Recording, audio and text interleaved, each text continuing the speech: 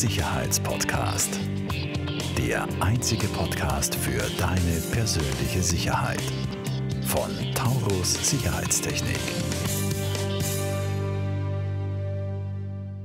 Ein herzliches Hallo an unsere Podcast-Zuhörer und Zuschauer auf YouTube und Hallo zu einer weiteren Folge von der Sicherheitspodcast. Heute bei uns der liebe Peter Fleischmann von Optimal mit H geschrieben. Ah ja. Hallo, Herr Fleischmann. Danke für die Einladung. Äh, freut mich, dass Sie heute äh, bei uns sind und wir haben heute das Thema äh, Lebensmittelsicherheit. Ähm, Lebensmittelsicherheit, wie wir jetzt in unserem Vorgespräch schon äh, festgestellt haben, hat ja auch ähm, ja, sehr viele Facetten und, und das kann in sehr viele verschiedene Bereiche gehen. Und wir haben gesagt, wir nehmen uns einmal ähm, zwei äh, Bereiche her. Wir gehen ein bisschen drüber über den Bereich ähm, Lebensmittelsicherheit in der Produktion von Lebensmitteln und dann in weiterer Folge gehen wir rein in die ähm, Lebensmittelsicherheit in der Versorgungssicherheit. So. Muss ich nur kurz auf unsere Stoppuhr drücken, dass ich einen Plan habe, wie lange wir sind. okay. ähm, Herr Fleischmann, fangen wir vielleicht einfach mal äh, damit an. Was ist denn das, das, Kerngeschäft von Optimal? Was machen Sie und, und äh, wie können Sie Ihren Kunden helfen? Optimal als Beratungsunternehmen fokussiert sich vor allem darauf, äh, Unternehmen, das sind Gewerbebetriebe, Industriebetriebe, dabei zu beraten, wie sie Dienstleistungen oder Leistungen innerbetriebliche für Mitarbeiter anbieten können. Das können jetzt Gesundheitsleistungen sein, das können aber auch Verpflegungsleistungen sein. Das ist einer unserer großen ja, Schwerpunkte wie Betriebskantine, Betriebsrestaurants. Mhm. Äh, da gibt es natürlich viele Facetten. Ähm, das, das Hauptrestaurant natürlich von Coffeeshops über Kommunikationsmöglichkeiten, innerbetrieblichen Austausch mhm. und allem, was da rundherum so. Mhm. Da fällt mir gleich ein bei dem Thema so, so ähm, Hub wie bei der, beim Erste Bank Campus, wo ich mehrere Restaurants, Coffeeshops mhm. und so weiter habe. Ja. Aber ähm, es spielt sich natürlich auch viel ab im Bereich äh, Kommunikation bei Meetings oder ähm, Team, Teamwork-Zonen äh, etc. Also mhm. da gibt es natürlich sehr viele Bereiche. Ja. Okay. Sehr spannend. Dann, dann gehen wir mal in das erste Thema rein, wie wir gesagt haben, ähm, Lebensmittelsicherheit im, im, äh, in der Produktion von Lebensmitteln. Ich glaube, das ist schon was, was äh, sehr viele in der Bevölkerung oder auch von unseren Zuhörern schon noch interessiert. Ähm, wie wird denn, denn, denn sichergestellt, dass auf dem, sag jetzt mal, auf der Wurst oder auf dem Käse, äh, den ich dann im Supermarkt kaufe, ähm, dass da keine Keime, Viren etc. Äh, drauf sind? Was, was gibt es denn da für Möglichkeiten in der, in der Produktion, wie man sowas äh, präventiv verhindern kann? Für Lebensmittelproduktion gibt es ja strenge Gesetze und Regularien auf verschiedenen Ebenen, sei es mhm. jetzt auf EU-Ebene, aber auch, und das auch schon früher, auf äh, nationaler Ebene. Äh, beschäftigt sich sowohl mit dem Umfeld der Produktion, also wie müssen Räume beschaffen sein, mhm. Äh, wie müssen Maschinen und Anlagen beschaffen sein, äh, wie müssen Prozesse definiert werden, ganz klare Konzepte, um hier kritische Punkte abzubilden und ganz klar festzulegen, wie werden Risiken hier unter Kontrolle gehalten mhm. oder wie werden Risiken in Grenzen gehalten. Mhm.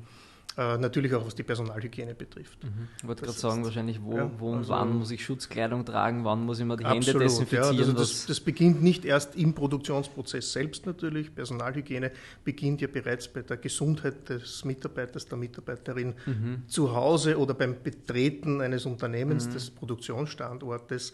Also welche Untersuchungen müssen gemacht werden, mhm. welche Nachweise müssen erbracht werden. Da gibt es zwar immer wieder Schwankungen, aber grundsätzlich ist das mhm. eine durch gehende Kette. Dass auch keine erkrankten Mitarbeiter zum Beispiel an die Produktionslinie Genau, in den Produktionsprozess mhm. hineinkommen. Dann mhm. gibt es Sicherheitsschleusen, Hygieneschleusen, die Mitarbeitende durchlaufen müssen, um überhaupt in den Produktions, äh, Produktionsbereich hineinkommen zu können. Mhm. Ähm, das äh, gibt es Vereinzelungssysteme zum Beispiel. Also mhm. wenn Sie heute in einen Produktionsbereich hinein möchten, müssen Sie über einen Schranken oder durch einen Schranken durchgehen, der sich erst öffnet, wenn Sie sich die Hände gewaschen und desinfiziert mhm. haben, äh, dürfen das natürlich nur mit der richtigen genau. Bekleidung machen etc.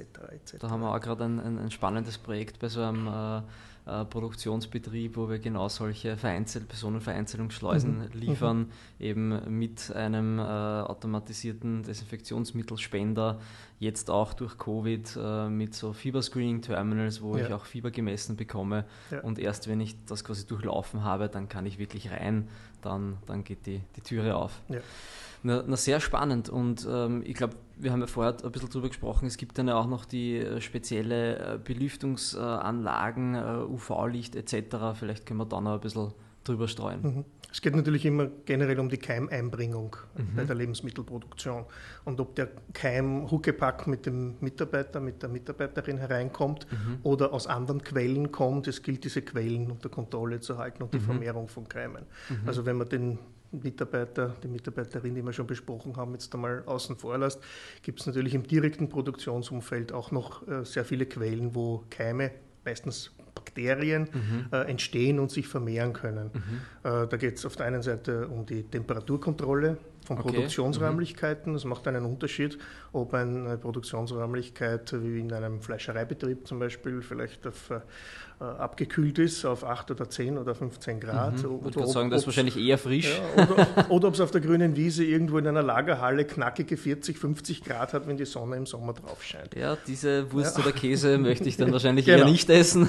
Und darum geht es natürlich darum, also die, die Gebäudesicherheit so weit herzustellen, dass einerseits von der baulichen Struktur, von der Oberflächenstruktur, von der Möglichkeit, Oberflächen auch zu reinigen mhm. und dann natürlich auch äh, über die Temperatursteuerung und die Belüftung, was auch sehr mhm. äh, wichtig ist, B- und Entlüftung, denn Keime werden äh, durch die Lüftungsanlagen natürlich potenziell in, über die Gebäudeteile äh, verteilt mhm. und verbracht. Mhm. Und das muss natürlich auch verhindert werden. Und da gibt es auch Möglichkeiten, nicht nur durch die Temperatur der Luft die Keimvermehrung äh, hinterhand zu halten und durch die gute Durchlüftung, sondern diese Luft auch zu entkeimen, wenn notwendig ist, durch Filteranlagen oder durch UV-Anlagen und ähnliche mhm. Anlagen. Genau, das ist das UV-Licht, wie man es jetzt auch, äh, ich sage jetzt einmal, ein bisschen weitläufiger kennt durch, durch, durch Covid, wo jetzt Luftreiniger etc. Mhm.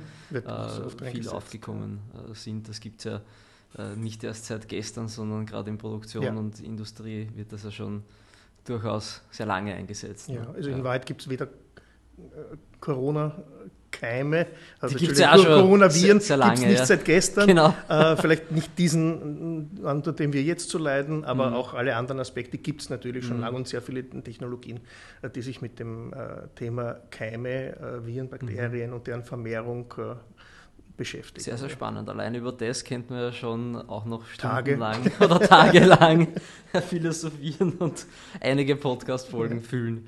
Ähm, na super, perfekt. Ähm, ich glaube, das war jetzt als, als Einblick perfekt in die, in die Produktion von Lebensmitteln. Und ähm, jetzt gehen wir vielleicht, jetzt machen wir den Schwank hin äh, zum, äh, zur, zur Verpflegungssicherheit, zur, zur Betriebssicherheit. Ähm, Sie haben ja auch einiges, einiges an Unterlagen ähm, vorbereitet. Ähm, vielleicht äh, wollen wir da ein bisschen ähm, reingehen und so eine Kernfrage, die mir da einfach jetzt für, für Betriebe äh, gleich im, im, Sinn geblieben ist, äh, war, was sind die Hauptassets äh, betrieblicher Verpflegung? Auf, was ist da für mich als Betrieb wichtig und, und wie kann ich das dann sicherstellen? Ja? Auf was, was gibt es da Acht zu geben? Mhm. Ja, die Grundfrage ist, was ist für Sie als Betrieb wichtig? Mhm. Nicht nur bei der Verpflegung, sondern generell. Und mhm. wirklich wichtig für Sie ist, dass Sie ein Unternehmen führen, das handlungsfähig ist und mhm. das marktfähig ist in der Das heißt, Sie setzen da wirklich sehr tiefgründig an in der Beratung. Müssen Sie. Nein, also man muss ja realistisch sein. Es ist ja nicht äh, alles nur aus altruistischen Motiven, was heute in der unternehmerischen Welt abläuft, mhm. sondern es geht darum, ein Unternehmen erfolgreich zu führen. Mhm. Äh, und das muss handlungsfähig sein. Mhm. Und handlungsfähig ist ein Unternehmen in der Regel dann, wenn die Mitarbeiter gesund, leistungsfähig mhm. und auch leistungswillig motiviert sind. Mhm. Und Verpflegung äh, ist natürlich ein Grundbedürfnis, also Essen und mhm. Trinken ist unser wichtigstes, oberstes so Bedürfnis ähm, nach Atmung, aber mhm. die, Atm die, Atmung äh, muss ich nicht zur Verfügung stellen als Unternehmer, das können Mitarbeiter in der funktioniert ganz, ganz gut selbst. ja. Das heißt, das nächste äh, Thema ist dann schon im, im, im Kopf aller Menschen, ähm, wo kriege ich was zu essen her? Mhm. Das kommt noch weit vor, wo kann ich wohnen, wo kann ich meine Freizeit gestalten oder mhm. was sonst.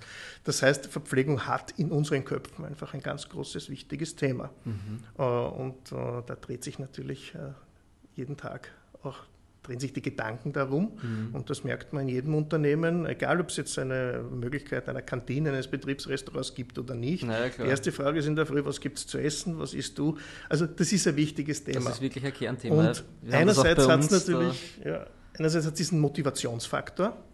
Äh, den man im Unternehmen nicht unterschätzen darf, der mhm. sehr oft unterschätzt wird, weil Kosten für Verpflegung anteilsmäßig an die Gesamtkosten eines Unternehmens, wo es um teure Rohstoffe geht, um Produktionsinfrastruktur, um Abschreibungen, um mhm. Personalkosten, da macht ja Betriebsverpflegung nur einen ganz kleinen Teil aus. Mhm. Äh, man unterschätzt aber oft, wie wichtig das ist für die mhm. Belegschaft und die Motivation. Mhm. Ähm, und das Zweite ist natürlich, und da kommen wir zum, zum Sicherheitspunkt wieder, ist Hygiene, Lebensmittelsicherheit und die Einsatzfähigkeit der Mitarbeitenden. Denn egal, ob ich jetzt im Unternehmen ein Betriebsrestaurant habe oder nicht, irgendwo müssen sich die Mitarbeiterinnen verpflegen. Mhm. Das kann das ich, dann das, ja, das ist dann entweder durch mitgebrachtes, äh, äh durch das Betriebsrestaurant im Haus oder im Außerhaus. Und der teuerste Mitarbeiter oder die teuerste Mitarbeitende sind bekanntlich Mitarbeiter, die krank sind. Mhm. Wenn man davon ausgeht, dass ein durchschnittlicher äh, Mitarbeitender, Mitarbeitende vielleicht 200 Euro am Tag an Kosten verursacht, ähm, ja, da ist natürlich der Einsatz von Mitarbeiterverpflegung vielleicht äh, die wenige Euro kostet. Mhm. Vielleicht eine gute Investition, mhm. muss nicht sein. Das heißt, es, es geht zum einen darum, äh, quasi sicherzustellen, zum einen natürlich auch äh, sicher, was, was man isst, ja, dass das Ganze äh, gesund ist und man nicht nur Blödsinn in sich mhm. hinein isst. ähm, und zum anderen ähm, aber auch sicherzustellen, dass äh, die Lebensmittel quasi in, in, in, guter Qualität, ähm, ich sage jetzt einmal im schlimmsten Fall nicht verdorben etc., mhm. ja, wieder ohne Keime etc., beim Konsumenten, beim Mitarbeiter ankommen ähm, und ja, auf der anderen Seite ist, äh, stelle ich mir jetzt vor, ein, ein, ein, Betriebsrestaurant oder eine Betriebskantine. Wir selbst haben sowas ja noch nicht, dafür sind wir noch zu klein, ähm, aber kommt schon noch. Mhm. ähm, ist sicher auch ein, ein, ein wichtiger Part, ähm, auch, dass ich mir als Mitarbeiter eben nicht Gedanken äh, machen muss, wo kriege ich heute mein Mittagessen her, sondern ich weiß, okay, ich habe da meine, meine Menüauswahl. Äh, Im Optimalfall ist es auch noch günstig und, und, und gut bepreist, ja, weil das ist ja in, den, in der Regel, so wie ich es kenne von den Betrieben, ist es einfach ein, ein Durchlaufposten, ja, wo man zu, zu Selbstkosten äh, das dann weitergibt. Steuerlich ähm, absetzbar.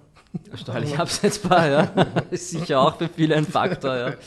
Ähm, ja, und das, das, also da kann ich mir schon vorstellen, dass das einfach viele, viele Vorteile dann mhm. hat. Ja. Es gibt sicher zwei große Schwerpunkte dabei. Das eine ist der Motivationsfaktor, äh, den man nicht unterschätzen darf in einem Unternehmen, der die Zusammenarbeit auch fördert. Denn in Wahrheit, wenn Mitarbeitende zum Mittag in die Kantine essen gehen, äh, worüber sprechen sie? Natürlich auch über Privates, aber in aber 90 Prozent der Fälle haben Untersuchungen ergeben, sprechen sie über die Firma. Mhm. Das heißt, es wird auch die Zusammenarbeit innerbetrieblich über Abteilungsgrenzen hinweg mhm. sehr stark gefördert. Mhm.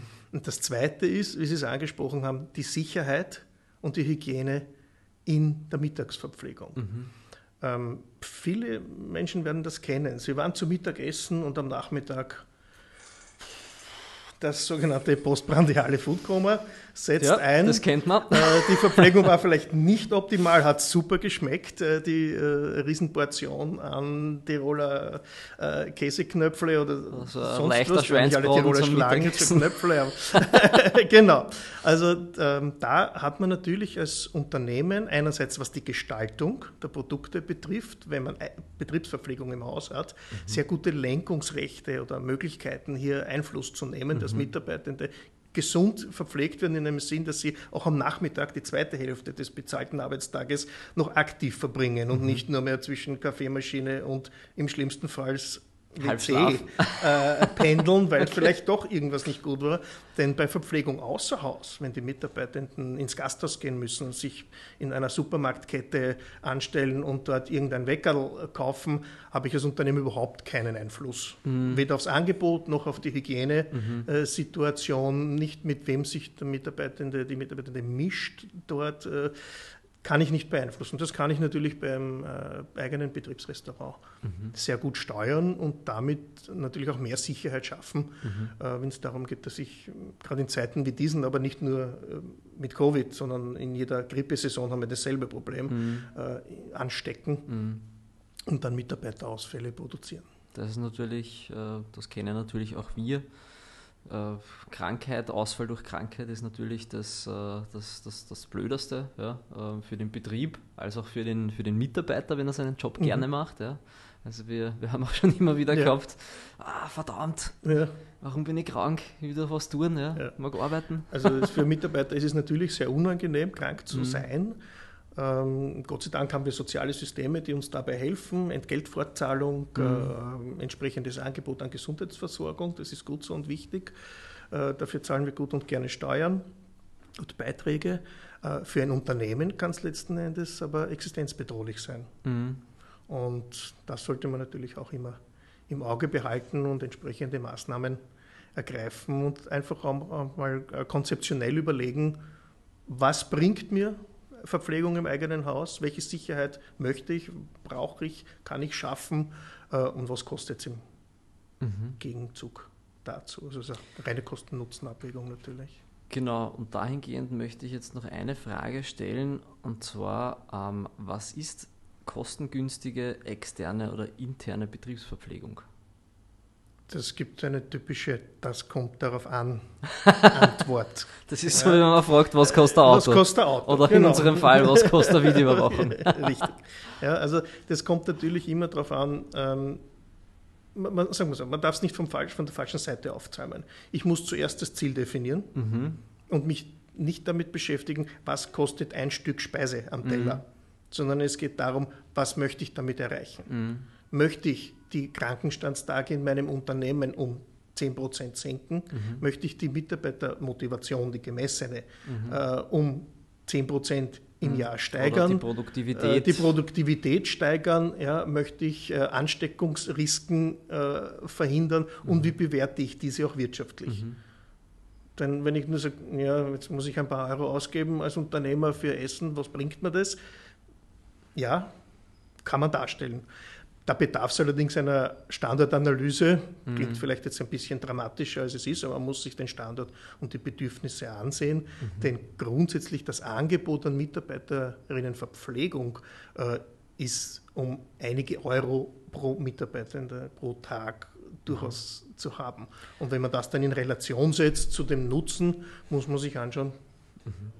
Was kann, man, was kann man da so, wenn wir jetzt schon bei einige Euro waren, was kann man da so als äh, Daumen mal Pi Richtwert äh, nehmen? Kostet es 3 Euro, 10 Euro, 30 Euro? Da sind wir jetzt wieder bei dem Autobeispiel, nicht? Mhm. Kommt ähm, natürlich drauf kommt an. jetzt darauf an, äh, erstens auf das Konzept. Mhm. Habe ich ein Frischküchenkonzept? Äh, habe ich ein Konzept, wo es Anlieferung gibt? Das heißt, die Speisen werden fertig angeliefert und dann nur ausgegeben. Mhm. Äh, da gibt es vom, vom VW Käfer äh, bis zum Rolls-Royce äh, gibt es alles. ja.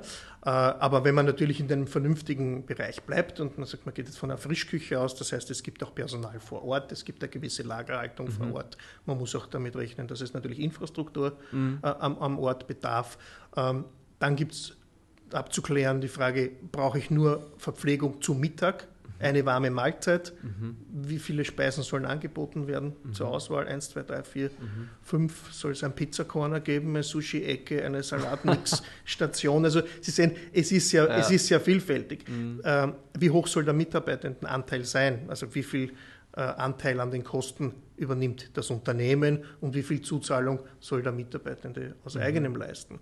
Menschen sind ja gewohnt, für ihr Mittagessen auch zu bezahlen. Mhm. Das kann sich schon leppern. Nicht? 22 mhm. Arbeitstage äh, mal 10 Euro mhm. beim, im Gasthaus ausgeben für Menü plus Getränk. Mhm. Ähm, wenn ich das in Relation zum Durchschnittseinkommen setze, äh, das ist schon ein relevanter Teil. Mhm. Das heißt, ich kann natürlich als Mitarbeiter schon auch was beitragen und mhm. freue mich dann, wenn ich ein Mittagessen zum Eigenbeitrag von 2, 3 Euro vielleicht bekomme, habe ich, mhm. hab ich viel davon.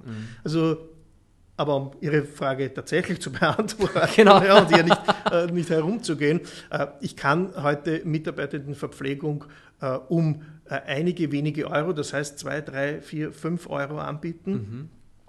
Aber es kann natürlich je nach Serviceumfang, wenn, wenn ich noch Sushi ein, ist, Kaffee, selbst, selbst das Sushi, es ist ja immer eine Mischkalkulation, ja. Ja, weil für das Sushi, das ich heute äh, den Mitarbeitenden zur Verfügung stelle, äh, gibt es die äh, Krautfleckerl morgen. Mhm. Also das ist immer eine Mischkalkulation, mhm. das funktioniert gut. Mhm. Und professionelle Caterer, die sich mit dem beschäftigen, also im Business and Industry Catering, äh, die können das schon. Also die, die, die machen einen guten Job und, mhm. und, wissen, wie sie damit umgehen, um hier attraktive Angebote zu bringen. Sehr, sehr spannend. Nach oben gibt es natürlich äh, nie Grenzen, aber es gibt viele Mischformen, mhm. wo man sagen kann, man bietet gewisse Leistungen äh, gestützt an, das heißt, das Unternehmen stützt den Preis des Mittagessens mhm. zum Beispiel, bietet aber vielleicht Zwischenverpflegung so wie wir sie von Bäckereiketten kennen, gefüllte Weckerl, mhm. äh, Fruchtsalate, Salate, äh, auch außerhalb der Hauptzeiten an, die dann vielleicht weniger gestützt sind oder gar nicht gestützt mhm. sind, aber dafür halt einen fairen Preis haben mhm. und keinen High-Street-Preis. Mhm. Also es ist, ein, es ist sehr, vielschichtig, sehr vielschichtig das ja. Thema. Eine, eine abschließende Frage, jetzt sind wir mit der Zeit schon relativ fortgeschritten, aber eine abschließende Frage möchte ich noch stellen, Herr Fleischmann, ähm, und zwar, ab wann zahlt sich denn aus, eine eigene Betriebskantine ähm, äh, zu betreiben? Gibt es da irgendeine Benchmark, wo man sagt, weiß nicht, ab 50 Mitarbeiter, ab 100 Mitarbeiter, ähm, wo, wo sind wir da ungefähr daheim? Wenn Sie mit Betreiben meinen, dass frisch vor Ort gekocht wird, mhm. mit Personal, das, das, das meinte ich jetzt genau. Wahrscheinlich ist eine andere, ja. eine andere Variante. Ich lasse das uh, out of house quasi kommen genau, zum Mittag. Anliefern und, und ausgeben. Mhm. Also es gibt ja verschiedene skalierbare mhm. Methoden ja, von ich liefere an und die Mitarbeitenden Ihres Unternehmens nehmen sich selbst mhm. Äh, bis äh, oder über äh, es wird angeliefert, aber ausgegeben. Es gibt vielleicht noch ein bisschen ein Zusatzangebot, ein Salatbuffet oder, mhm. oder Weckerl. Also das, das lässt sich natürlich dann Stufe mhm. um Stufe steigern. Und je nach Modell macht Mitarbeitendenverpflegung durchaus auch Sinn, wenn Sie nur einige Dutzend Mitarbeiter haben. Mhm. Für eine echte Frischküche vor Ort mit einem zufriedenstellenden Angebot, mit einer entsprechenden Angebotsbreite und auch Personal, das Voll- oder Teilzeit äh, hier tatsächlich vor Ort auch kocht, äh, wenn Sie äh, schon von einer Unternehmensgröße sprechen, die über 100 mhm. Mitarbeitenden liegt. Wenn es weniger Mitarbeitende sind, dann muss man sich anschauen, wie kann man Konzepte gestalten, dass sie auch für weniger Mitarbeitende vernünftige Konzepte mhm. anbieten können, um denselben Nutzen zu erzielen. Das geht ja nach wie vor mhm. beim Unternehmen. Und ähm, können dann, wie gesagt, auch für weniger Mitarbeitende etwas Attraktives anbieten aus Mischkonzepten. Heraus. Perfekt, das war ein schöner Abschluss. Herr Fleischmann, ich sage herzlichen Dank Sehr fürs gerne. Kommen zu unserem Podcast. Ähm, wir werden natürlich ähm, Ihre äh, Informationen, Ihre Links von Optimal Consulting auch äh, in den Show Notes äh, auf YouTube und in der Podcast-Folge ähm, auf den ganzen Plattformen, wo wir da ausstrahlen, auch einblenden. Würde mich natürlich freuen, wenn das vielleicht für den einen oder anderen Zuhörer oder Unternehmer unter euch auch interessant war, dann gerne auf den Peter Fleischmann zukommen. Und ich sage herzlichen Dank fürs Zuhören bei der Sicherheitspodcast und bis zum nächsten Mal. Falls dir diese Folge gefallen hat, bewerte uns sehr gerne und teile den Podcast mit deinem Umfeld. Alle weiteren Informationen zu Taurus Sicherheitstechnik findest du in den Show Notes.